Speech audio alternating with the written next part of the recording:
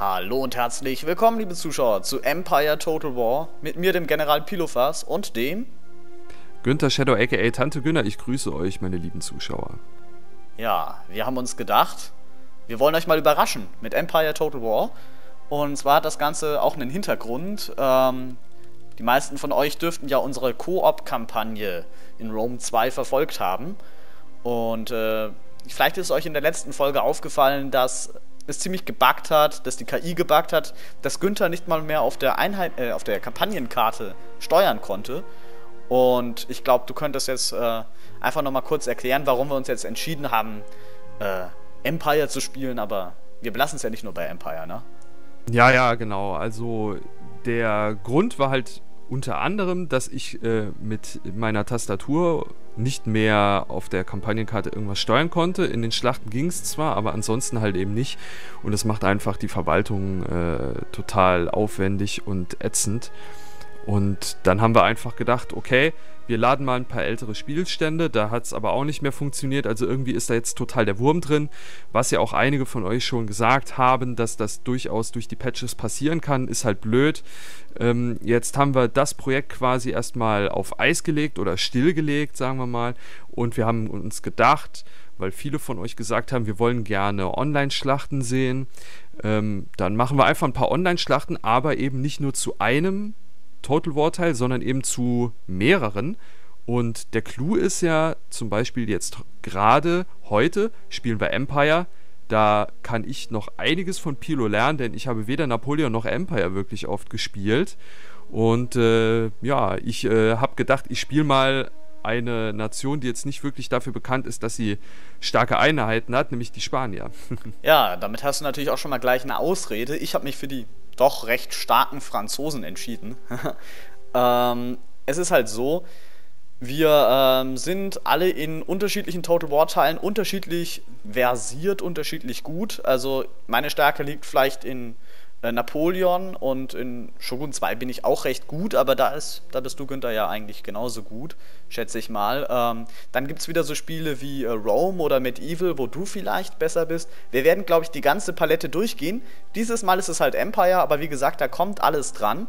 Ähm, und ja, was wir dann am Ende vielleicht äh, doch vermehrt spielen, hängt erstens mal davon ab, was uns am meisten Spaß macht, wo es am ausgeglichensten ist und natürlich von euch. Das heißt, wenn ihr unbedingt Empire sehen wollt, dann lasst es uns auf jeden Fall wissen. Und ähm, wenn ihr meinte, so ein Mist, dann äh, wartet doch lieber mal bis das Spiel kommt, das euch interessiert und dann könnt ihr das äh, unterstützen. Das bringt uns viel mehr, als wenn ihr dieses Video hier jetzt, weil es Empire ist, äh, sag ich mal, kontraproduktiv unterstützt.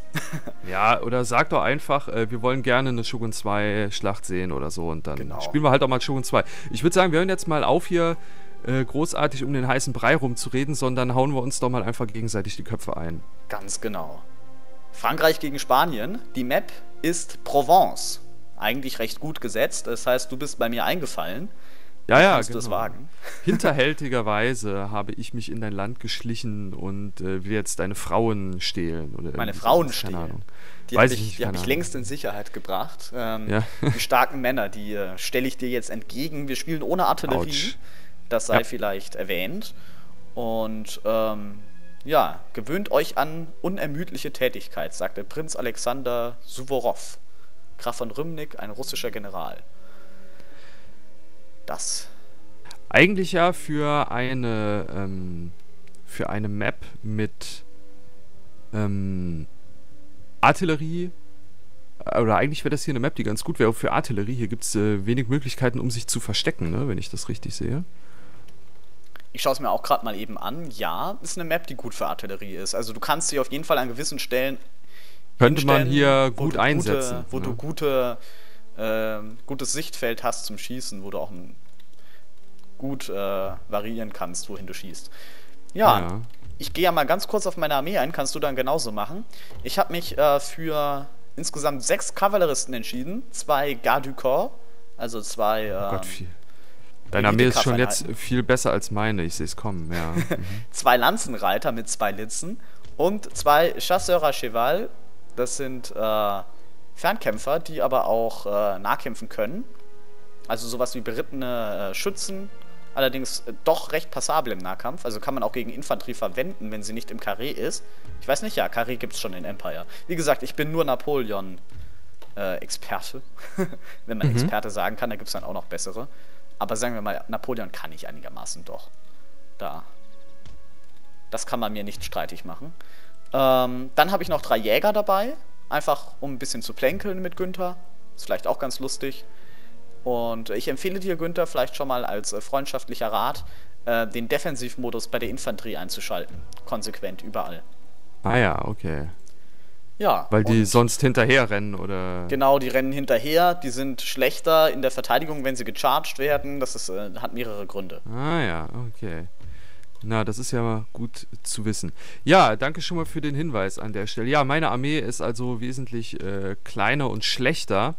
Äh, ich äh, spiele nur zwei Plänkler, ich spiele drei Elite-Infanterieeinheiten und drei Linieninfanterieregimenter und nur vier Einheiten Kavallerie. Also äh, das doch nochmal äh, eine deutlich andere Armee als die, die ihr jetzt bei Pilo zu sehen bekommen werdet. Aber ich habe hier immer noch die Ausrede, ich bin ja Empire-Noob, ich habe ja nie Multiplayer gespielt bei Empire. Also von daher ähm, kann ich mich ja hier rausreden. Ja. Genau. Und dann lassen wir mal die Armeen aufeinander zumarschieren, im Laufschritt am besten. Und die Leute sind schon unterwegs. Wie spricht man das aus? Guardias de Infanteria? Keine Ahnung. Ja, wahrscheinlich, ja. Guardias de Infanteria, ja, wahrscheinlich irgendwie so, ja. Cazadores hast du auch. Das sind natürlich sehr, sehr gute Plänkler, glaube ich. Ja, die sind äh, angeblich ganz gut, ja. Ich glaube, meine spricht man Tirailleur aus. Ich weiß aber nicht, was Tirailleur heißt. Wahrscheinlich sowas wie Plänkler. äh, Tirailleur, ja. Wahrscheinlich, ich denke auch, dass das, äh, also, äh, dass es wahrscheinlich von diesem französischen Wort äh, Tiré oder irgendwie so kommt, ne? Oder dass es Schützen, Schützen heißt oder irgendwie sowas in ja. der Richtung. Was, was auch nochmal meine Frage wäre, wieso heißt bitte die Gardeinfanterie Maison du Roi, Haus des Königs? Oder hat Maison noch eine andere Bedeutung? Nein, ähm, das äh, könnte sein, dass man das dann schon zu napoleonischer Zeit spielt. Ja, wir haben Zeitalter spät hier also, eingestellt. Ja, deshalb. also wenn das äh, wenn das Einheiten aus der Zeit Napoleons sind, dann könnte das durchaus sein. Ja, ich werde jetzt dich aber nicht hier auf deiner äh, Hügelstellung da so einfach ohne weiteres angreifen, ne? Also das ja, wäre ja, ja nicht so schon. geil, ne? Ich, ich, will halt nur nicht, dass du äh, im Wald hockst, wenn ich auf dich schieße. Deshalb äh, habe ich mich so du, aufgestellt. Du willst sehen, wenn du, wen du umbringst, sagen wir mal. Auf so. jeden Fall. Erst wenn ich das Weiße in deinen Augen sehe. Ja. Also ich habe ja, äh, ich habe ja eher auf äh, qualitativ hochwertige Einheiten gesetzt, aber wenn ich jetzt auch so die Menge deiner Streitmacht sehe, dann denke ich auch, das könnte durchaus ein Fehler gewesen sein. Äh, ich habe auch nur Elite-Einheiten ähm. dabei, ehrlich gesagt. Also bis auf ja. meine Kavallerie, wie gesagt. Aber ansonsten habe ich das teuerste, was möglich war dabei. Ah ja. Ähm, bis eben auf die Kaff. Also da habe ich halt ein bisschen gespart. Und die Plänkler von mir sind wahrscheinlich wesentlich schlechter als deine. Das könnte auch ein Grund sein. Müsste man mal abwarten. Gab es nicht auch. Ach doch, warte mal, man konnte ja auch hier irgendwie diesen äh, sagen. So, dann lauft mal vor. Ja, also für alle, die jetzt heute ein paar Sounds äh, vermissen in diesem Spiel. Äh, wir hatten ein bisschen Probleme damit, den Soundgeschalt zu konfigurieren, weil immer mein Mikrofon äh, ausgerastet ist, sobald ich hier irgendwas gemacht habe. Und dementsprechend gibt es dann heute nicht ganz so viel äh, zu hören. Also von der Lautstärke her. Ne? Ja, kann man dir, denke ich mal, diesmal noch verzeihen. Bei mir ist der Ton auch nicht sonderlich laut. Ich bin das einfach nicht gewohnt, äh, mit lautem Sound zu spielen. Also ich habe ja. immer leisen Sound drin und äh, dementsprechend sind das meine Zuschauer, glaube ich, auch gewöhnt, dass ich da den Sound nicht sehr hoch drehe, was eigentlich schade ist. Nur äh, wenn ich den Sound hochdrehe, dann höre ich ihn halt selber laut und dann äh, tendiere ich dazu, ein bisschen zu schreien. Und das, äh, oh, das ist dann doch unangenehm, gut, ne? wenn ich mir dann zuhöre, wie ich schreie im Nachhinein. Ja, ja. ja. jetzt sehe ich, du verlagerst deine Kaff da natürlich schon mal gleich. Heftig, heftig. Sind das Kürassiere oder was ist das? Äh, das ist meine äh, Elite-Kavallerie. Ja. Interessantes ich Gesicht haben die Spanier. weiß nicht genau, wie sie heißen, äh, habe ich mir jetzt gar nicht mehr genau angeguckt. Äh, Guardias de Cor oder irgendwie sowas. Das PS dürfte doch auch im Spanischen stumm sein, denke ich mal. Naja, schauen wir mal. Ja. Ja, wir haben beide die Leibwache dabei. Ähm, da bitte ich mal um Aufklärung. Die hat ja keine Fähigkeiten, dementsprechend gehe ich davon aus, dass sie eigentlich unnötig ist. Wenn Ja. einer von euch weiß, dass sie doch Moralbonus gibt, dann bitte in die Kommentare schreiben. Vielleicht sieht man hier nur den Aura-Bonus nicht und das wurde erst in Napoleon implementiert. Könnte ja sein. Ähm, denn ansonsten ist es ja vielleicht sinnvoller, äh, eine andere Einheit als Generalseinheit mitzunehmen. Denn so ist das ja keine sonderlich tolle Kaff. Oder vielleicht doch? ich weiß es ja, wie gesagt, nicht. Ja, ich äh, bin mir da auch nicht sicher, aber ja, also äh, ich habe jetzt mal gerade wieder hier mit der Gruppensteuerung zu kämpfen. Ja, danke. Das ist ja, das sind ja schon römische Verhältnisse hier. ja, ich muss jetzt auch mal meine Kaff ausrichten gegen äh, die Günthersche Bedrohung. Oh, und du kommst in Reichweite. Das ist dir klar, oder? Ja, ja, ja, ja. Ich will ja auch schießen. Hey, ich habe ordentlich was getroffen. Das ist ja mal schön. Ich habe ordentlich was getroffen. Nett, nett. Je.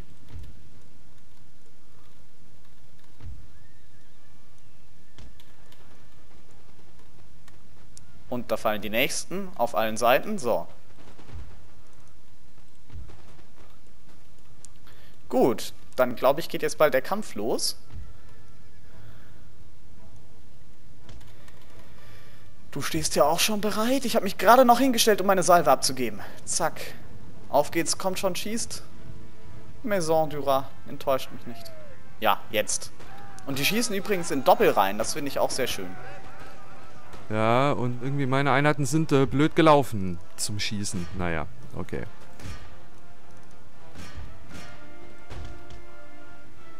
So. Oh, meine Kavallerie ist äh, los, ja. meine Kavallerie ist schön langsam, stelle ich mal wieder fest.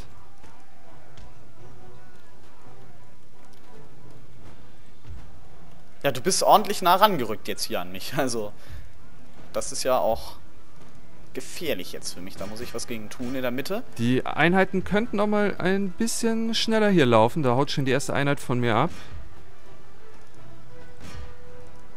Ja, gleichzeitig hast du es geschafft, eine Schützeneinheit von mir Ja, äh, zu also schaden. ich muss aber, ich muss aber sagen, ich habe also hier, die Zuschauer werden das ja nachher sehen können, ich habe einer Einheit den Befehl gegeben, dein Karree zu stürmen und die machen alles, aber äh, nicht das, äh, was ich ihnen hier gesagt habe. Also schaut euch einfach nur mal an, wie die laufen. Jetzt ist da natürlich, jetzt ist da natürlich alles äh, vorbei. Ich muss unbedingt mal in der Mitte aushelfen, da bist du total durchgebrochen. Gleichzeitig, was die Kavallerie betrifft, du hast deine Kavallerie halt ähm, hochgelevelt. Das hat dich auch, das ist auch der Grund, warum deine Einheiten, ähm, sag ich mal, hier äh, weniger an der Mannzahl sind, so insgesamt gesehen. Ja, ja, klar. Also ich habe da schon äh, alles reingehauen an äh, Punkten, was ich halt irgendwie hatte. Ach shit, ja, das ist zu spät. Hm. So, ja, in de- wolltest ein Karree bilden, nehme ich an, oder? Ja, ja, ja, das hat nicht mehr hingehauen. Ja. Nicht mehr ganz. So, ich habe dich jetzt auch von hinten erwischt an meiner rechten Flanke. Wunderbar mit einer Linieninfanterie. Das äh, wirst du nicht mehr schaffen da. Nee. Aber weißt du, was mich hier jetzt, was mir hier gerade wieder auffällt, wie viel langsamer die Einheiten hier sind im Vergleich zu, äh, zu Rome 2. Ne? Das ist doch sehr, sehr Auf auffällig. Ne? Ja, ja, klar. Die sind Also- äh, nicht gerade die schnellsten. Ja, ja. es ist halt schwierig, du hast so elitäre Infanterie, dass meine Kavallerie-Charges nicht so viel bringen, wie ich mir davon teilweise doch erhoffe. Das ist ein bisschen doof. Gleichzeitig muss ich mich auch ständig neu formieren. So, aber jetzt dürfte es eigentlich hinhauen. Erstmal schöne Salven abgeben in deine Plänkler. Na komm. Royal Écossais. Oh, ich habe den Gen Gen getötet. Wie denn das? Ja, den habe ich in den äh, Nahkampf mit dazu geschickt. Er ist dann äh, sofort krepiert. Die Einheiten legen hier auch ewig lang an. Schau mal, die legen hier seit 20 Sekunden an. Ihr dürft schon schießen, ne? Die Jetzt, kommt, schießen jetzt reibt aber hier mal die Franzosen auf. Kinder. gestaffelt schießen die Freunde. Ja, ist schon ein ziemlich eindeutiger Sieg für dich, ne? Hm, das würde ich jetzt noch nicht sagen. Also, das ist noch nicht entschieden hier. Absolut noch nicht. Ja, so ziemlich, ne? Ah ja, doch, jetzt bricht deine Mitte ein bisschen weg, ja. Ja, ja. Ja, ja, aber du hast noch deine Kavallerie. Wenn ich nicht ins Ja, Karree nur gehen der- würde, würde es vielleicht noch gut aussehen für dich. Der, äh, ja, ja, das, das kannst du natürlich machen. Aber der Clou ist eigentlich, dass deine Kavallerie ja auch, obwohl sie also rein ähm, äh, qualitativ nicht so stark war, dass sie da doch sehr viel, äh, sehr lange auch äh, standgehalten hat, ne? Genau, darauf habe ich mich verlassen. Ich habe äh, quasi mit meinen starken Elite-Kavalleristen dich versucht aufzuhalten. Oh, du hast mich gecharged und ich konnte trotzdem ins Karree gehen. Komisch. Ist in Napoleon anders. Ja, Ähm, das ist, äh, das ist Empire, ne? Also, Ja, ja, es ist, ist ja auch alles neu für mich. Also klar, so ein paar grundsätzliche Sachen ähm, haben halt super geklappt gegen dich, äh, die auch in Napoleon funktionieren. Also zum einen an deiner linken Flanke konnte ich dich halt wunderbar umrunden. In der Ja, Mitte das konnte ich ich dich mit der gesehen, Kavallerie ja. chargen, sodass ähm, ich perfekt Situationen herstellen konnte, wo ich dir in den Rücken schieße oder in die Seite schieße. Und an der Mhm, ja. linken Flanke habe ich dich halt aufgehalten. Und das hat dann äh, quasi das dort bewirkt. Ja. Aber meine ja, Maison ja. du Rat, die kämpfen sich da durch. Die haben 41 Mann und die, die metzeln sich da einfach durch, durch deine Garde-Infanterie. Unglaublich. ja, da kann man nur noch GG sagen, ne? Ja, GG. ich denke mal, du wirst mich noch oft genug schlagen, sodass äh, ich Darauf kommt es mir gar nicht an, aber ich glaube, man hat sehr schön gesehen, ähm, man hat sehr schön gesehen, wo die Fehler halt liegen. Ne? Also ähm, hier war es doch auf jeden Fall besser, auch ein bisschen mehr Masse mit reinzubringen, insgesamt mehr Einheiten zu haben, um eben auch umrunden zu können. Eben wie du schön gesagt hast, auf der Flanke dran vorbeiziehen, äh, die Kavallerie möglichst lange binden mit einer Einheit, die zwar auch schon gut ist, aber halt eben nicht ganz so teuer war. Ne? Ja, Und- also die Masse bringt schon was, auf jeden Fall. Wenn Ja. man aber mit Masse spielt, muss man darauf aufpassen, dass die Flanke, auf, bei der man nicht den Akzent setzt, eben nicht zu schnell zusammenbricht. Und das habe ich dadurch gewährleistet, indem ich eben äh, mit der Kavallerie deine Mitte gecharged habe, sodass du mit deiner Mitte quasi der Flanke, wo ich am schwächsten war, nicht mehr helfen konntest, sodass ich dort lange genug standhalten konnte, über, um über meine starke Flanke quasi dich wegzuräumen. Ähm, ich denke mal, ich sagen- in anderen Spielen wirst du mich richtig weghauen und du darfst auch entscheiden, welches das nächste Spiel sein wird. Ja, das nächste Spiel haben wir ja schon abgesprochen. Äh, die nächste Online-Schlacht wird Medieval 2 Total War sein.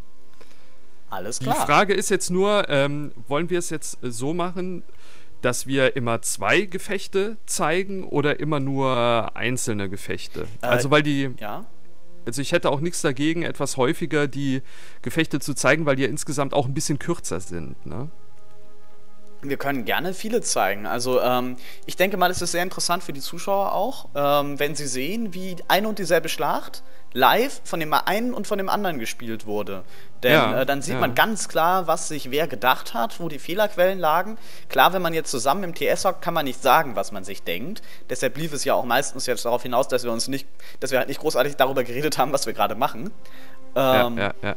Aber trotzdem kann man ja allein schon an dem, was der Spieler macht, sehen, was er sich gedacht hat. Und deshalb ist es sehr interessant. Und äh, von mir aus können wir gerne auch jetzt ähm, sagen, wir machen jetzt zwei Empire, nächstes Mal zwei Medieval. Ich habe im Moment Medieval nicht installiert, sonst würden wir jetzt sofort Medieval spielen. Wollten wir eigentlich als erstes machen. Ja, ja, aber das machen wir dann einfach für das nächste Projekt. Dann machen wir es doch so. Dann machen wir jetzt noch einen neuen Part, ja? Ja. Und äh, wir machen quasi eine Revanche zu See. Zu sehen. damit? Oh je. Ja. Na klar, da, hab ich, da freue ich mich äh, drauf. sind ja unsere Paradedisziplinen, die Seegefechte. Ja? Oh ja. da haben Okay. wir schon einiges. Gut. Dann danke fürs Zuschauen. Äh, bis zum nächsten Mal. Olla. Ja, ganz genau. Äh, au revoir, auch von eurem General Pilofas.